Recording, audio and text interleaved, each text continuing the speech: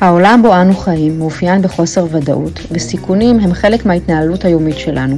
חלקם מתממשים וחלקם לא. האיזון בין סיכון לסיכוי הוא דק ומשמעותי להתקדמותה של החברה לעבר היעדים האסטרטגיים שהציבה לעצמה. אז מהם הסיכונים ואיך ניתן לצלוח אותם? בשביל זה בדיוק יש לנו את אדלה גבילי, מנהלת הסיכונים של החברה, שהסבירה לנו. אז קחו את הסיכון וצאו איתנו למסע היכרות של 120 שניות של ניהול סיכונים. סיכון הוא השילוב של הסיכוי, הסתברות להתרחשותו של אירוע מסוים במידה ויתרחש. הערכת סיכונים, ההסתברות להתממשות הסיכון כפול החומרה כשהוא מתממש. ניהול סיכונים זה שם כולל לתהליך שעוברת חברה באופן קבוע, על מנת לזהות ולמפות אירועים אפשריים באסטרטגיה ובתהליכי העבודה שלה, ואת הסיכונים הכרוכים בפעילותה. אנו סבורים כי יש לקחת סיכונים, כי מי שמעז, מצליח. יופי, אז מה עכשיו? במקום לתת לסיכונים לנהל אותנו ולהשפיע עלינו, אנחנו יכולים וצריכים לנהל אותם.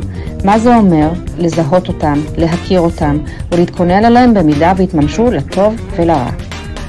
אם ניקח את חברת נתיבי ישראל כדוגמה, הסיכונים יכולים להיות סיכונים תפעוליים כגון בעיות בשרשרת האספקה, ביצוע עבודה פגומה בכבישים, קריסת רשת המחשבים. סיכונים אסטרטגיים כמו למשל הפחתת התקציב הממשלתי שמהווה פגיעה מהותית בפעילות החברה, או העברת חלק מפעילויות החברה לחברות תשתיות תחבורה אחרות. סיכונים בריאותיים, מחלה, מגפה, ניחשתם נכון, כמו הקורונה, שפגעה בבריאות המגוון האנושי והשבתת המשק, זמינות העובדים והחשש מהדבקה המונית במתחמי העבודה. מצד אחד המגפה הביאה לנזק משמעותי במשק, ומצד שני יצרה הזדמנויות להאצת פרויקטים בנתיבי ישראל.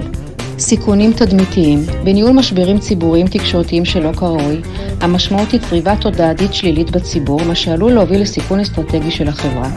כדי לגדר את כל הסיכונים הללו ולתכנן את אסטרטגיית ההתמודדות עימן, הוקמה מחלקת ניהול הסיכונים בחברה.